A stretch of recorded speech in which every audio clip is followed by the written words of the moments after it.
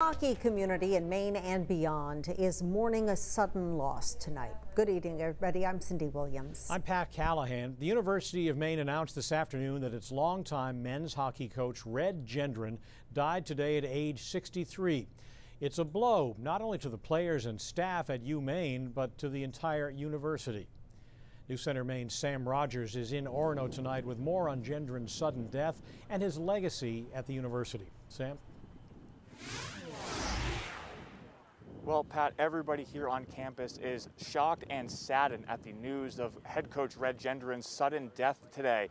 Now, after spending years behind the bench here for the Black Bears at the Alfond Arena, there is now a memorial in Gendron's honor. As you can see, flowers and pictures of the late head coach and even a hockey stick laid in his honor outside of the rink that he spent so many years for this program. In a statement today, UMaine Director of Athletics Ken Ralph said, Our community and the entire UMaine Athletics family mourn the loss of Coach Gendron, and we ask you to keep him, his family, his friends, and our hockey staff and student athletes in your thoughts through this agonizing time. As for the memorial growing here, a little while ago we witnessed a current player drop off a stick as a tribute to his former coach.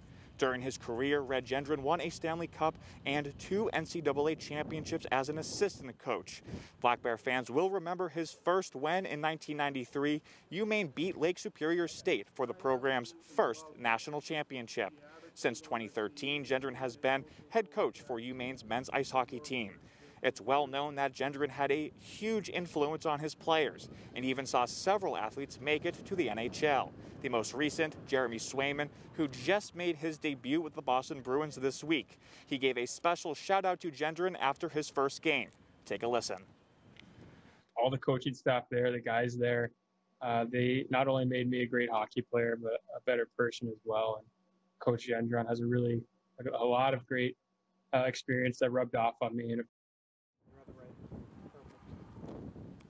UMaine's longtime and now former head football coach Jack Cosgrove spoke with us about the loss of Gendron, saying in a statement tonight, the sudden nature of Red's passing creates a sadness for all who knew him. I have tremendous respect for his work at Maine. He had the ability to take over a room with his personality. We will truly miss him. And Gendron's name is also all over social media tonight as tributes from his former players and co-workers mount. Hockey East tweeting out, College hockey lost an absolute giant in the game today.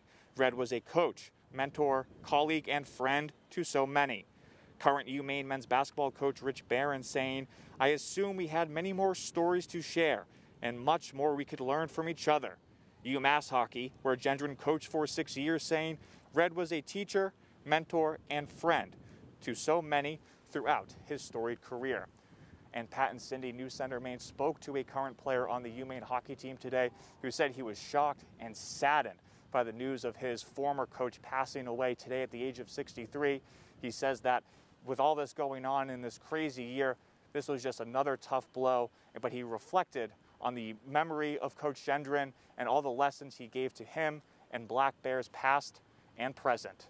Pat and Cindy?